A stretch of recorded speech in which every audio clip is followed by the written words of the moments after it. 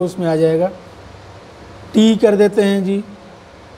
सौ रुपये हमारा खर्चा आ गया चाय का। सॉरी, ये आपका आएगा डेबिट में। ठीक है, एक्सपेंस आएगा डेबिट में। अब मेरे पास मज़ीद कुछ फ़ीस आ गई स्टूडेंट्स की। पंद्रह हज़ार रुपये। ठीक है जी। अब मेरे पास मैंने कोई इक्विपमेंट ले लिए या आ, मतलब ये है कि आपका हार्डवेयर में जो है वो एक्सपेंस हो गया मेरा कोई तीन हज़ार का। ठीक है जी? ये एक छोटी सी शीट है। अब हम इसको मैनेज करते हैं कि हमारे पास जब हमने स्टार्ट किया था क्या था और अब हमारे पास एंड में क्या बचेगा? मज़ीद कुछ चीज़ें और डाल देते हैं इसमें ताकि मज़ीद आपको फार्मूला समझ में आ जाए। बिल हम डाल देते हैं, बिल इलेक्ट्रिसिटी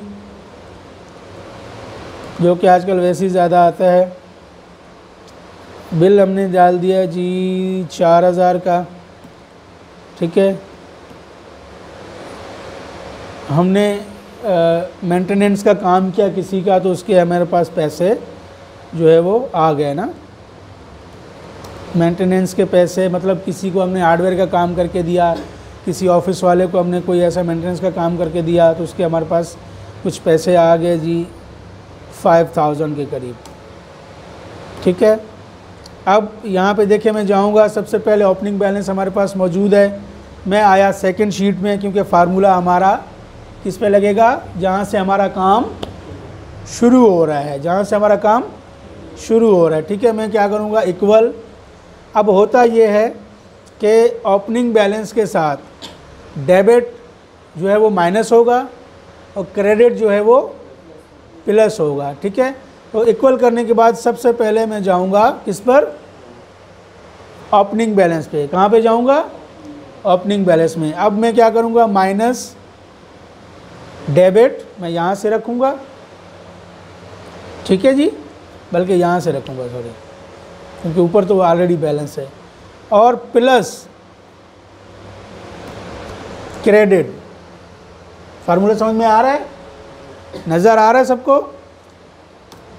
देखिए, मैंने इंटर किया तो ये फार्मूला जो है वो लग कर आ गया। अब मुझे बार बार फार्मूला लगाने की ज़रूरत नहीं है, लेकिन इसको आप कॉपी पेस्ट नहीं करोगे, इसको आप करोगे ड्रैग क्या करोगे? ड्रैग करोगे। एक ड्रैग करने का तरीका ये है कि आप माउस ले आओगे यहाँ पर, ये देखें ब्लैक का जो ये प्लस का साइन आ रहा है, अब आप क्लिक पकड़ के नीचे लाएँगे तो ये फार्मूला ड्रैग होता जाएगा। ठीक है? दूसरा तरीका कीबोर्ड का है, वो भी आपको बताऊँगा। इसको मैं यहाँ तक लाऊँगा। अगर और भी मैं शीट को आगे बढ़ाता हूँ, देखें। अब देखिए मेरे पास क्या हुआ कि दस हज़ार पर, दस हज़ार रुपये मौजूद थे, दो हज़ार मेरे पास आ गए तो बारह हो गए, सौ रुपये गए तो ग्यारह नब्बे। ये आपने सिर्फ़ एक बार फार्मूला लगाया और सारी कैलकुलेशन आपको यहाँ पर उसने करके दे दी। आ रहा समझ में ठीक है सर इसका फार्मूला सर फार्मूला समझते हैं। देखिए, मैंने आपको पहले कहा कि आप इस चीज़ पे ना जाएँ कि शीट के ऊपर क्या चल रहा है। आप सिर्फ़ ये चीज़ जहन में रखें कि कौन सी चीज़ किससे प्लस हो रही है, कौन सी चीज़ किससे माइनस हो रही है और बैलेंस में क्या निकल रहा है, ठीक है? आपको अगर फार्मूला चेक करना है, आप यहाँ चले आएँ। अब यहाँ पे तो आपको, क्योंकि शीट्स ही बता रहा है ना, जी टेन इलेवन, लेकिन आपने, मैं दोबारा से इसको कर लेता हूँ, फार्मूला यहाँ से डिलीट कर देता हूँ। इक्वल प्रेस किया। इक्वल प्रेस करने के बाद, क्योंकि हमारे पास ऑलरेडी बैलेंस मौजूद है, अगर हम उसको शामिल नहीं करते तो फार्मूला हमारा गलत हो जाएगा, क्योंकि वो भी तो पैसे पड़े हुए हैं हमारे पास, हमारे अकाउंट में, जो बैलेंस में पड़े हैं। तो सबसे पहले हम लेंगे बैलेंस को। किसको लेंगे? बैलेंस को। बैलेंस के साथ माइनस होगा। क्या माइनस होगा? डेबिट माइनस होगा। क्या माइनस होगा?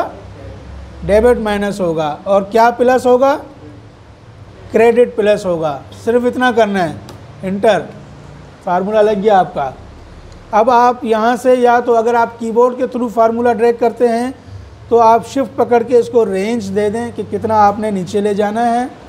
F2 का बटन आप प्रेस करेंगे तो देखिए आपको दिखा रहे हैं कि फार्मूला ये लगा हुआ है। कंट्रोल के साथ इंटर प्रेस करेंगे तो फार्मूला आपका ड्रैग हो जाएगा। एक तो माउस का तरीका बताया आपको मैंने, एक बगैर माउस से आप डायरेक्टली इसको फार्मूले को ड्रैग कर सकते हैं। जी।